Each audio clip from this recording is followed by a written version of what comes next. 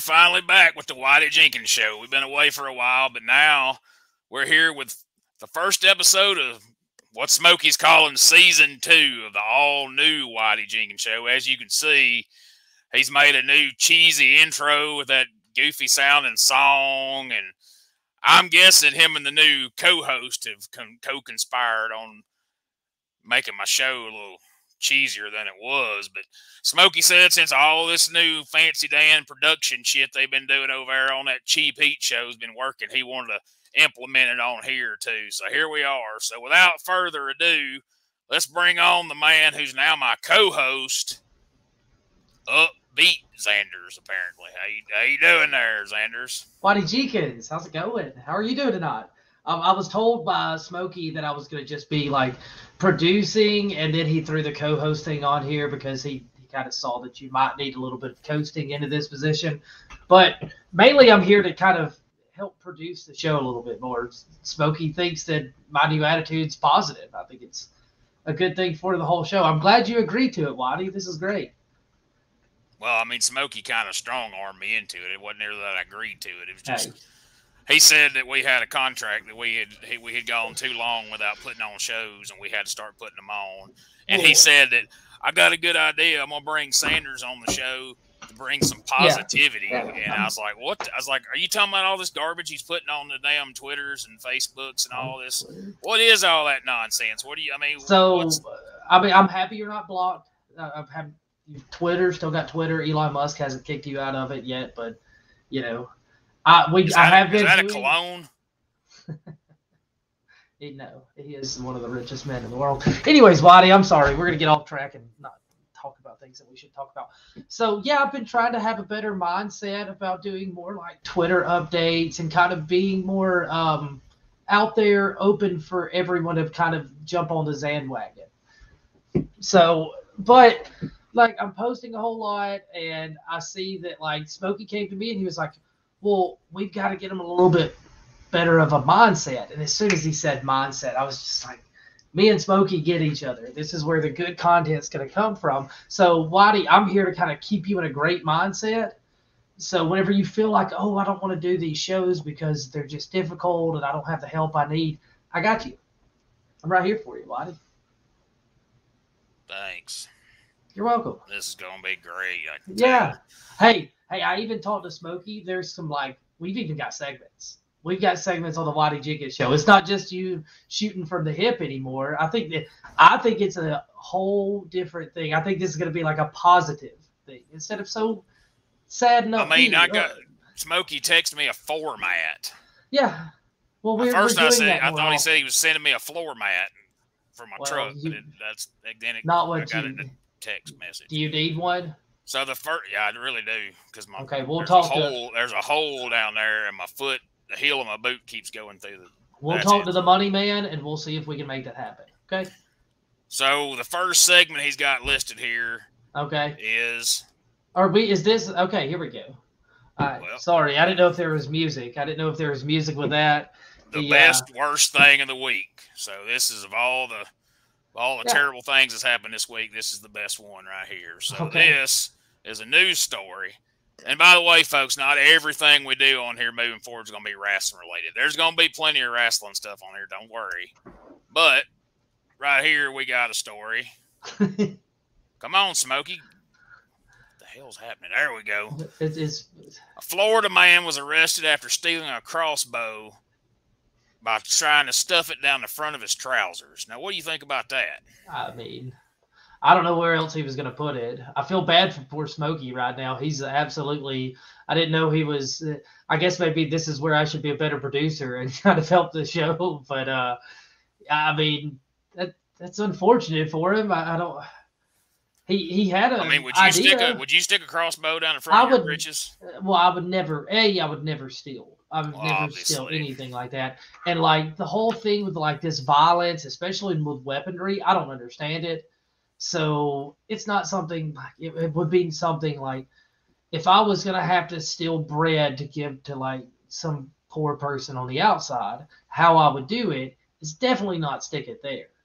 Like you've got to find. No, you wouldn't want to stick bread down there if he's giving it to some poor person. Well, I mean, They wouldn't. I mean, they wouldn't appreciate but that. but just uh, no, no. Why would you would, stick? To, let's just. all right. We've, we've established Thank you won't you. shove it down in front of your britches. That's Where would you stuff bread if he's going to steal it for a poor person, such as Uh, myself? I wouldn't. You're not a poor. I want to know where this is coming from before you bring me bread with my. Well, I mean, at. it would it would definitely not be about my down my trousers, as they said. It would have to be probably on the sleeve, maybe just like right up the armpit area, so you can kind of keep it. You've got to be able to. You've got to have a nice tight shirt, and then you take the the bread loop thing, and then you put it down there, and then up in here, so you can just kind of walk side on.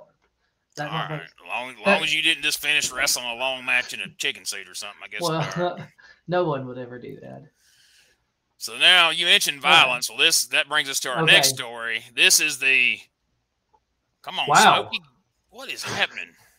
You are you- Smokey's doing an excellent job, by the way. Smokey. That- see, he kept it up there again. It's been up there. The worst, worst thing of the week, which this is like the first thing, but just worse. But okay. Are you seeing it and I'm not? Because yes, mean, you will. I am seeing it. I, if I have to, I guess it's just on your end, Waddy. You've got to get off stealing other people's internet Wi-Fi. well, they need to get better internet's what they need to do. well, that's neither here nor there. All so you're seeing something right now. Yeah, the, I'm seeing the restaurant worker arrested see it. after. Okay, well, uh, do you want me to read the, at least the headline so you can Read the headline here. All right, restaurant worker arrest after grease thrown on customer. So my understanding is I, I heard I heard this story on the radio one morning. Okay. Damn Arby's manager in Hueytown, which ain't that Okay. far from Alabama over here where we're at. Yeah. got into an altercation over service in the drive-through window of the of the Arby's, and they flung hot grease on this customer through the drive-through window at the Arby's. Which I ain't no expert on this positivity business, but I'm positive that's that's not appropriate. Well, I, their effort was upbeat, though. Let's just say that. How about that? There, I've I've worked the fast food restaurant industry, and before I was upbeat, now I, there is no way. But um, Oh yeah, you could. I mean, can't nobody stay upbeat working at a fast food restaurant. I hate to I hate to actually be the the sad sack in this situation, but I actually agree with you. there is no way. So I get it. Um, yeah, good for those people. I guess it could have been worse somehow. I just, I mean, the fact it was the managers what surprised me. If it had been one of these, you know, eight dollar an hour, you know, jobbers, Yeah. fair enough. But the damn man, what did you say to the manager to get? To I was about to say- grease at you. It, it doesn't a it doesn't take much because as a manager you would be um I, I I remember as a manager I definitely wasn't upbeat and had a short fuse so I'm sure I've wanted to do it but never Well, there was plenty of hot grease you could have threw at the place she was at too. We won't Oh, say where man. it was. they don't sponsor us though they can they can stay upbeat with themselves somewhere else Whoa, they can go. they can go eat All right, let's not kill your gimmick. We're only Uh, nine minutes into this thing. You're I'm already sorry. off the rails. I didn't know this was an interview. I I, I didn't know It's this not was an interview. You just we interact. That's what a co-host Okay. does. We I'm sorry. I'm it sorry. ain't just me sitting here talking about news stories while you I'm- in the I'm, being as about as upbeat about these poor situations as I can be. yeah. Well, here's something you'll be upbeat about. Uh, There's there's a big wrestling event coming up, and I I'm just I'm wrestling. just I- I'm upset that I'm not involved with it because this is my kind of thing. I think this is going to be a heck of a show. I think you're probably going to want to get tickets to it. So everybody, check this out right now. Coming next Thursday. This Thursday at noon, come out to the Butt County, Kentucky Convention Center for Wrestle Show 4. If you are a true wrestling fan, then you definitely need to come out for the biggest night in professional wrestling. Meet and greet with local referees. Buy action figures out of a tote from some dude in the parking lot. Snap a pic with the spare turnbuckle pad from a WWF 1987 house show for $20. Plus, see all of your local favorites in action like the Penultimate Warrior, the Canadian Nightmare Renee Riso, Big Dave, the rock star Kevin Miami, Bigger Dave, Rhinestone Cowboy Brick Dickens, Biggest Dave, Keith, and Mr. Charisma Robert Morton. Hey everyone, Mr. Charisma Robert Morton here. Uh, come on down to the Butt County Convention Center this Thursday to see me take on Big Dave in a Fans Bring the Weapons match. Be there. Special note do not bring guns, knives, katana, swords, brass knuckles, cattle prods, live animals, or children to the Fans Bring the Weapons match. And make sure you get there early for our Wrestle Show 4 meet and greet, including members of the NWO, except Hulk Hogan, Kevin Nash, X Pac, The Giant, Eric Bischoff, Dennis Rodman, Scott Steiner, and more. But you know Horace Hogan will be there. Tickets are $30 a piece through PayPal or 3 for 100. Bring a replica championship belt and you'll be admitted for free into the live podcast recording of three white dudes discussing diversity in pro wrestling. Order today.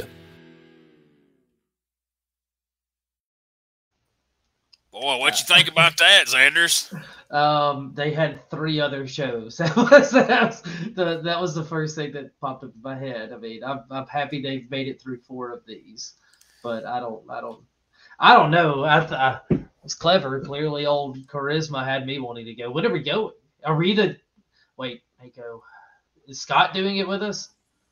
Is, Well, is, I mean- is me and Gene Jackson going? I mean, do you think have you you think Smokey would like pay for us a trip to go to that? Waddy, I would let you if you came in with a good mindset. I'd let you ride with us.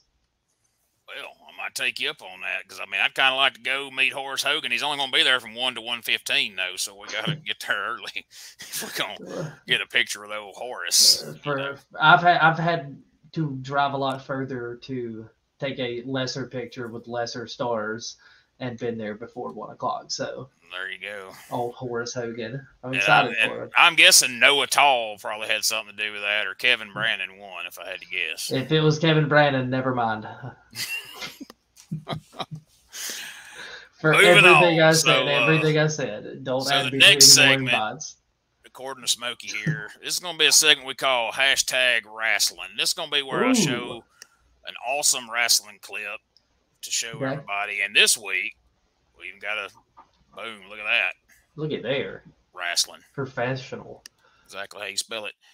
And so, uh, so I got a clip. I thought it was timely because last week, uh, everybody was sharing that video where damn Jackson interviewed that David Cox feller, right? Yeah, And so in that video, which was I, I think was like seven, eight years ago when they recorded that, long time ago. he said that he thought he wasn't gonna wrestle about another four or five years. But I got a video from like last weekend What? where he's up there wrestling in Tennessee. We're not gonna watch the whole match, Ah, please, obviously, because I mean Tom. Tom. I'm sure it's a it's a wrestling clinic, but we're just gonna take a look at a couple things. I want you to see how how great his selling is here at the end of this clip.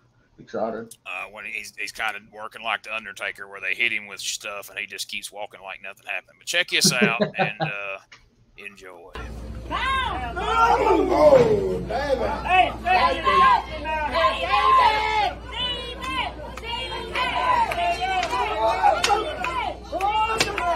David Cox brought his knee out. Well,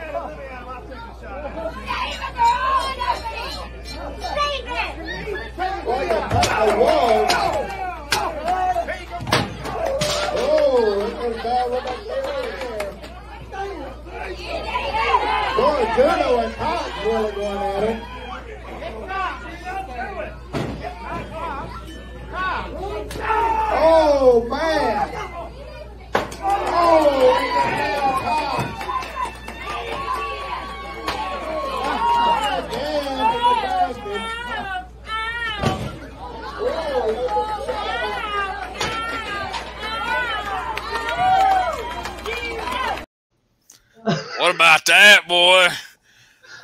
He's, he, he really is hard to beat, man. They was they was whacking him and uh, didn't phase him. He just kept walking along because he's a tough old son of a bitch. Whacking him was probably not the best way to say that, Waddy. Just for future reference, uh, What do you got Yeah. against whacking Cox? what I've Um, heard. But anyway, yeah, that's So- you, you obviously listened to the interview that Waddy Jenkins or that uh, Gene Jackson did for with Tyrese Murphy. So, I don't. I try not to watch anything Gene Jackson does. I'm- It's a- It's tough. It's sometimes I must say. I'm, I'm trying to be upbeat about this, but it's it's who's Tyrese Murphy? it's a pro wrestler from I believe he's from Gadsden, From Gadsden. Alabama. Yes, a local. He's a rock star, but likes Tech Nine. It's a long story. Just go watch our go. Just go watch our stuff, Waddy. Tonight, go get on YouTube and just watch it. You'll all right. I'll watch. I reckon I'll. I reckon I'll watch it since you since you asked me to. thank but, you. You've done, Uh, you've done a lot of homework tonight, Waddy. I, I really appreciate all the Well, effort. Smokey's been on my ass all week about this Man. stuff. I mean, there must be some big money at stake because he's been on me. We're trying. I'm, I'm excited. I'm, this is this is super positive. I've enjoyed it. Thank you so much for having me on tonight. Now, did So you want this me to is- see about getting the Violent Gentlemen's booked on that show up in Tennessee? Where I seen your buddy Steven Styles was in that video. Yeah. Oh, Did was he? have another? That was him swinging the chair. Old David. that old, old David didn't didn't even feel it. Um, yeah, Get, right, I'll get back to dis- off we'll, we'll discuss it off air. Yeah. Like that's that's Uh, not. I'm we don't we don't need to. We don't need to drag this the out there. mud. No. Yeah. That's fair. people- All right. Well, right now, Smokey is telling me in my headset, and I'm sure you too, since you're uh, a junior producer or whatever, you're producer in training. You're. Uh, Yeah. Is that what he's? Is that what's happening here? Is like he's training you to be like the um, replacement uh, producer on some of these other podcasts? Is that what's? he's just kind of Plan is. looking. I hope so because you know I know he I know poor Smokey's worked to the bone. He he works twice as hard as anybody. On mean, he's only sleeping like 18 hours a day now, so he's, he's really. That's he's been really. I mean, I know how quick he is on the damn keyboard, so I guess he can do all this editing and stuff in his four hours that he's awake or six hours Speaking that he's awake. getting paid, let's go right now Ooh. to our commercial break. And when we come back from the commercial break, we got a new game. I know y'all play games on that cheap heat yeah, deal. Well, we have an actual game, and, uh, and my best friend, shout out to my best friend Shane Mako, by the way. What hey Shano, Shane up? would love these because you're actually going to be able to determine if you win or lose, even though you're only going to be competing with yourself. But it's going to be real know. clear once it's over whether you won or whether you I have a feeling, knowing you, Waddy Jenkins, I'm going to be losing. So let's go to commercial. That's not upbeat, man. You got to stay positive. Let's take a commercial break and we'll find out on the other side. Bye, Are guys. you looking to have a good time? Well, head on down to Happy Hour Comedy Club and Restaurant in Anniston, Alabama. Shoot you some pool, play you some darts, or head on over to the bar, get you a cold beer or one of them fancy cocktail drinks. They got all that. You hungry? Get you one of the best pizzas in Anniston or anything else off the menu. They got burgers, tacos, chicken wings, anything you want.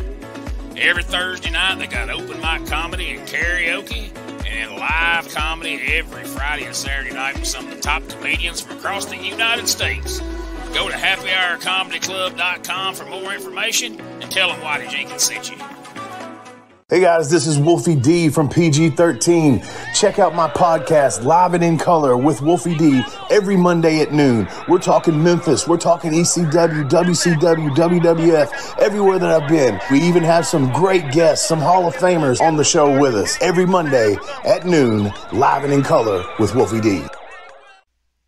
You like barbecue? Well, of course you do, unless you're some kind of weirdo or wasn't raised right. So if you want to get some of the best barbecue around, check out P3 Barbecue. Our buddy David Estes does it up right, and he'll be glad to cater to your next event or just send you some of his award-winning sauce right there to your own doorstep. Go over and check them out on the Facebooks at facebook.com slash P3 Barbecue or give old David a call at 901-679-3452 and tell them Whitey Jenkins sent you. Ladies and gentlemen, welcome to Give Me Back My Pro Wrestling, the podcast that's based on the old school, but can still help you find the good stuff from today. Dangerous Dan Colley, the Professor Jimmy Street, and the Plastic Chic Jared are the undisputed six man tag team champions of the wrestling podcast world. From thought provoking topics to superstar interviews to action figure expertise. This trio does it all, and all they ask is, Give me back my pro wrestling! every other Thursday, wherever you listen to podcasts. Hey, Hey, I thought uh, I thought you and Mako and Jackson was the six man tag team champions of podcasting. Them guys calling y'all out. What's going on there? oh, they don't want that. They don't want that. I'm I'm gonna be positive and just bow out. They can be whatever they want to be. They can have all their. We've got way better monikers, but you know, this is not about us and Cheapy. I do appreciate how like you've been really talking of Cheapy, and I appreciate all your support, Waddy. Well, Means a lot know, to us.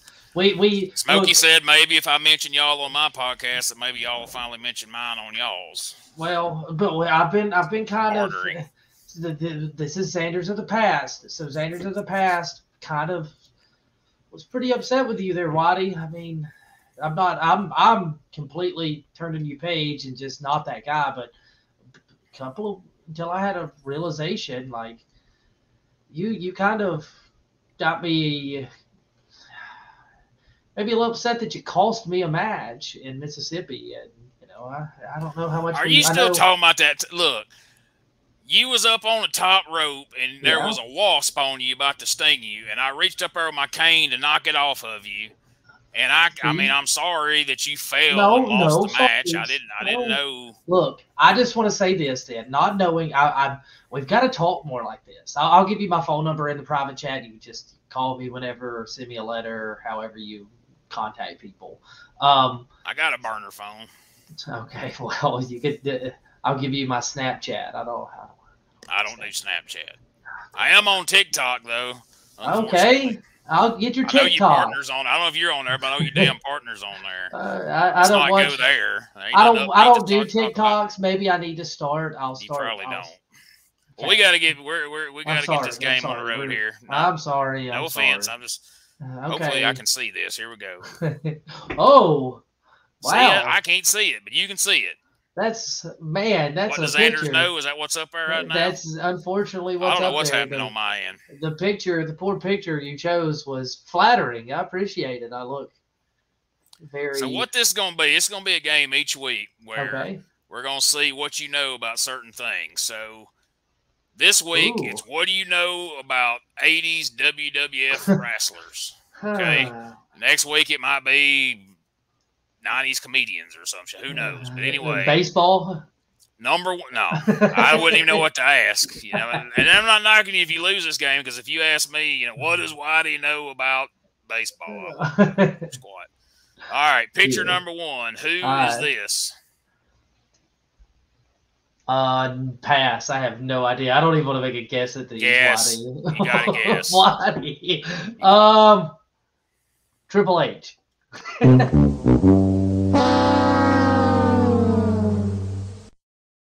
Look how disappointed Scott Morgan was in you. He looked like poor Smokey. He did. yeah. Um, All right. Well, there's there's the first one. that? That's Bruno Sammartino, one of the Okay, most that famous world guess. champions that in was my second guess. That was my second guess. Triple gonna- H. he looks like it in the face. Number two. I'm gonna none of these, Rod.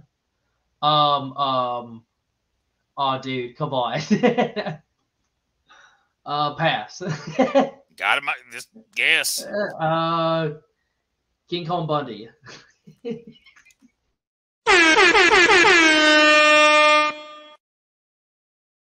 You're, you're One and one now. You're never gonna see that picture, that correct picture again. That's a good picture. Shout out to Skinny Chris Hero there. I'm, yeah, I'm sure he's proud we're showing that. There's no way. If you didn't, if you, if you almost passed on King Kong, God dang Bundy, There's and no. Triple H on Bruno, there's no way you're gonna get this one. We're gonna show it anyway. Perfect. Paulie. Uh, judges.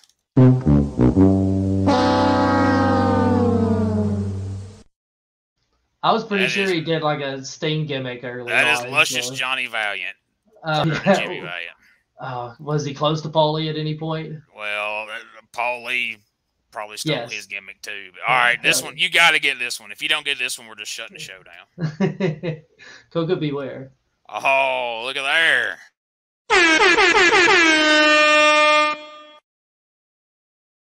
Waddy, I All right. appreciate you not trying to burn me on all of them. I should have known the Bruno one. So we're, yeah, I, I, you, once you didn't know Bruno, I thought this was going to hell in a handbasket. To be honest with you. All right, so you're two and two. You got two wrong, two right. Oh wait, this, we're gonna. We're, this is so still number going. five's the tiebreaker.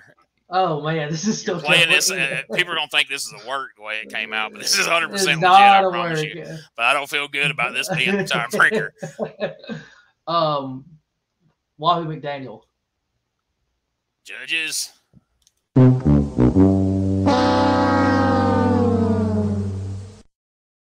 It's super that unfair. is Chief Jay Strongbow, as mentioned in the Adam Sandler movie Big Daddy. If you remember that that's one. no, definitely not. You never saw that movie? No. God. And I've even seen Wahoo McDaniel wrestle, but I've just uh, never really paid like I've watched his style and I watched old stuff like that, but not a lot of it. It's not my- not my bag. I just knew it was some old Indian, so he had the name Wahoo. how racist. Anyway, That's not racist. so our Uh. last segment is a segment called News to Us. So we're going. This is where we talk about a different news story each week. Sometimes it'll be wrestling, sometimes it won't. But this week it is because the news story broke this week that 73 year old Ric Flair is going to have one last final match this July in Nashville as a part of Starrcast weekend, which is taking place on SummerSlam weekend, which is also, you know, SummerSlams happen at the damn stadium in Nashville, which is kind of crazy. But so they're having a Starrcast that weekend. Ric Flair is going to be in a match. Uh, rumor has it it's going to be like a six man tag. Uh, it's it's rumored to be Flair and uh, Revival or FTRs, FTR. whatever they are, against the Rock and Roll Express. And and everybody was saying uh, Ricky to Ricky the Dragon and Steamboat, but Steamboat came out yesterday and said, "Hell no, I'm not ruining my legacy like that. I want everybody to remember my match I had with with uh, Chris Jericho when I was 69 years old at Backlash." So we don't know who the opponent's going to be, but Zanders, I know you're you're being upbeat, but uh, let's see how upbeat you can be talking about a 73 year old Ric Flair after having nearly dying a couple years back and allegedly having a pacemaker. I don't know if that's true or not. Coming back to the ring. I'm I'm excited for him. That's gonna be a, a that's hopefully gonna be a milestone in his life that he gets closure with. I don't, you know, it's like these old coaches in football. I know you know so much about college football coaches, but they they say they're gonna not do it, and then they do it again. It's the thrill of the environment. It's really tough to retire in this business. Good luck. Good luck, Mr. Flair. I, I mean, he's a legend. Obviously, he's what everybody aspires to be. I I got an idea. Okay. Six man tag. That's what they said, right? Ric Flair, Yeah. the revivals against the violent gentleman. Scott. Morgan, Shane Mako, and Upbeat Zanders. What I I love Rock and Roll Express. They're they're they're a great tag team. They paved the way, but man, I've seen some of their stuff, and I'm trying to be upbeat, so I'm not going to talk about how their Canadian destroyers are terrifyingly rough. But you know, get him get him in there. Get Ric Flair somebody he doesn't have to do a Canadian destroyer with, ladies and gentlemen. Like, make the right call. We'll, teach him some positivity. so That'll be fun. maybe we can start a a uh, what do you call them when you like the thing I started on Gross Joey Petition. a Like a petition. petition. Yeah. we start a petition and send it to Conrad Thompson because that's his outfit doing this thing. Absolutely. Yeah. Get the violent gentleman in there against Ric Flair and the FTRs at in Nashville. That's So, I mean, I mean, what what a great match that would be. I mean, you know, Yeah.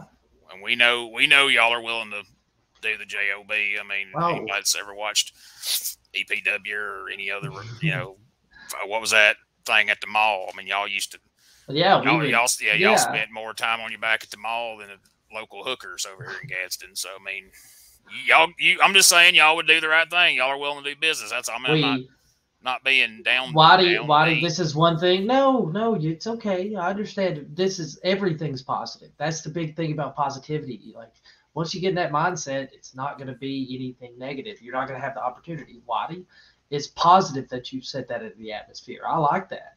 That's a, a petition's a great way to show you know, you could be disgusted, like you could be unhappy, but just always be upbeat about it. Be progressive. That way your unhappiness doesn't sit but just a few seconds. So Waddy, whatever harebrained schemes you could think of to get us a great match and and to retire a legend, go for it, buddy. I'm all for it. This is great. I mean, if if if we can't get in on the Nashville deal, I mean, you think Dirty could get him down there to the OWOs or something, or I'm sure Dirty would probably do that for the Violent Gentleman because Dirty's a stand-up man and has with Gene like it that ensures Gene Jackson is going to be there. Because Gene Jackson is their longest champion, longest running champion ever. He's a legend over there in Mississippi. I mean, so- I'm pretty sure they're gonna have to stick him in their Hall of Fame this this year in the, at the anniversary show. I wanna- see how I- they couldn't, honestly. Um, this is the, my new positivity is kind of not allowing me to do a lot of my grievances that I kind of I'm upset about, but like I'm trying to because I'm trying to push past them. I'm trying to get past them, Waddy, and like I just how are we not in more Hall of Fames? Because Gene's done so much for the business, and I feel like you know my positivity alone just recently has done enough for me to be in at least two or three Hall of Fames.